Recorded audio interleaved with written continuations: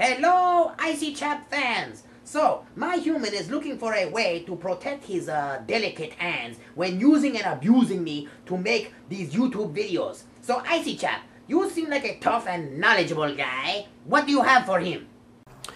So you are looking at a pair of Hydroskin paddling gloves. Cool. I say your hands are your most important tool. You have to protect your hands. Uh, I agree with you there, man.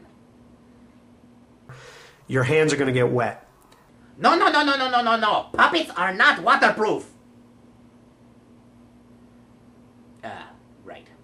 Get back down there, man. And when they get wet, if you've got any kind of wind, they're going to get cold. And cold hands can get clammy and cramp up. That gives me lockjaw, although my fur generally acts as a windbreak.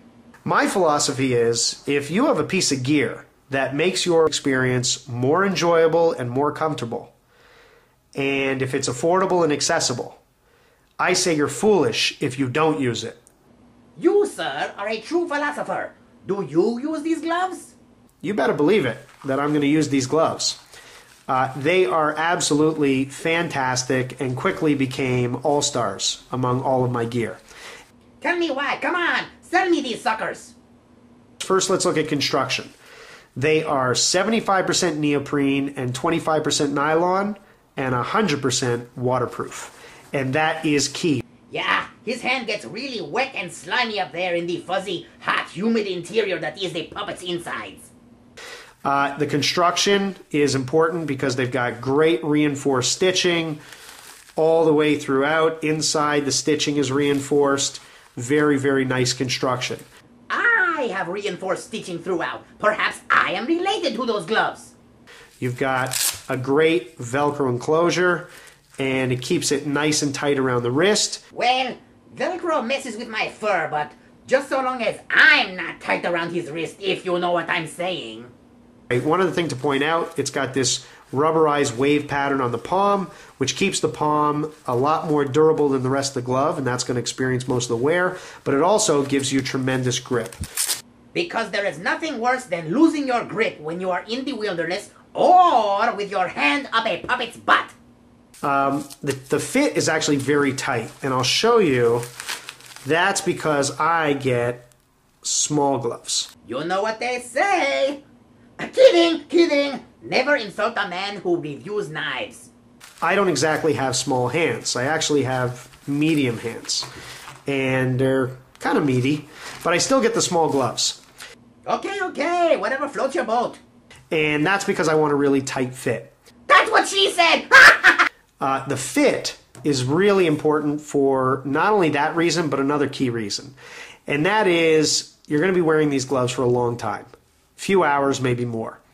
So what you don't want is to develop any kind of hot spots or blisters. I should say not. For me, that'd be a hemorrhoid.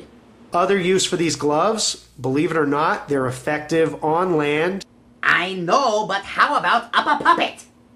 And that's for two reasons also. Actually, three reasons. One, you've got the nice textured material which makes the palm more durable. But is it gentle on me? In addition, the neoprene is also pretty spongy. Good. So it's comfy for me too. Two, these gloves, which are part of the titanium line, I'll just show you there. These gloves actually have a coating on them, which makes them much more resistant to snagging. Ugh, nothing worse than a snag up there. And then three, because it's spongy, uh, the neoprene does absorb shock. I shock the hell out of people, so it's good to have a shock absorber. In addition, these gloves are actually treated with an odor resistant microbial agent or antimicrobial agent. What that means is that you're not going to build up bacteria in the gloves, they're not going to stink. And uh, I think that's also very important for gloves that you're going to be wearing for an extended period of time. Yeah, you should smell his hand when it comes out. Whew! So there you have it. Hydroskin paddling gloves made by NRS. I highly recommend them. They're affordable, they're durable, versatile, and just a great piece of gear. Go out and get them, you won't regret it. Okay, I will. That's my review. Hope you enjoyed it. I did. Thank you, IcyChap. Have a good one. You too. For the full review, be sure to check out the original IcyChap video.